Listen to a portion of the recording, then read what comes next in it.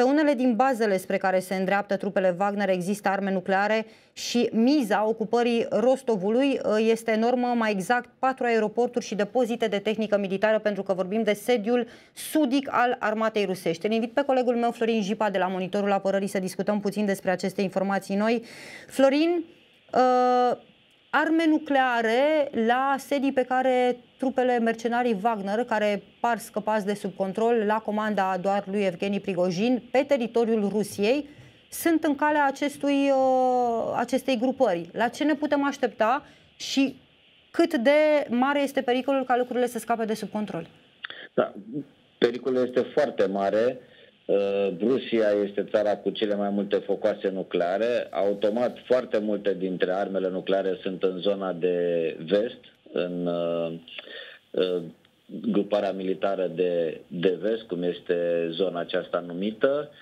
Și ceea ce este iarăși mai grav este faptul că Prigojin, un fost apropiat al lui Putin, a lucrat în serviciile secrete și cu siguranță știe unde sunt aceste arme. Are o forță de 25.000 de oameni, deci o forță considerabilă. Dacă ar să comparăm, e cam toată forța armatei eh, României, dacă vorbim de forța operațională care ar merge la luptă, o brigăzi de manevră, deci are destule forțe să ocupe o unitate militară și ar fi o monedă de schimb a lui eh, în ceea ce privește viitorul eh, său. E clar că în acest moment joacă viața practic nu doar... Uh, nu mai are nimic de pierdut. Nu mai are absolut nimic de pierdut, asta este cel mai grav în acest moment. Am văzut că și cecenii trec de partea lui Putin, practic se împart în mai multe tabere. Știi ce este mult... interesant, Florin, iartă-mă că te întrerup. Vedem o declarație a lui Mihai Hodorkovski, care este unul dintre cei mai bogați, dacă nu este primul uh, miliardar autoproclamat chiar de către el în 2007 al Rusiei, pe care știm foarte clar, Putin l-a băgat la închisoare,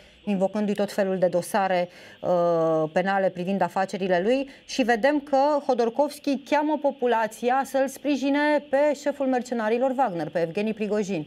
Da, am văzut și eu declarația, el se declară un liberal, dar cu toate astea ce puțin în acest moment cheamă populația să-l sprijine pe pe Prigojin, el este de fapt o speranță a multor ruși să scape de regimul lui Putin, dar întrebarea este ce pui în, în loc, în acest vid. Scap de Putin și dai de Prigojin, practic schimbi un dictator vârstă cu un dictator mai tânăr.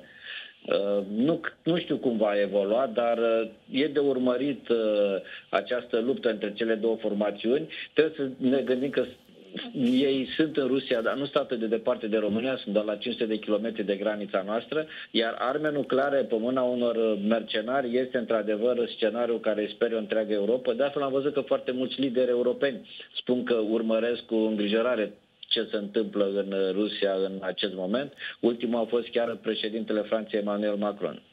Îți mulțumesc foarte mult, Florin. Urmărim îndeaproape și noi situația în dezvoltare acolo. În drumul mercenarilor Wagner se află centre militare unde există arme nucleare, o îngrijorare masivă pentru comunitatea europeană.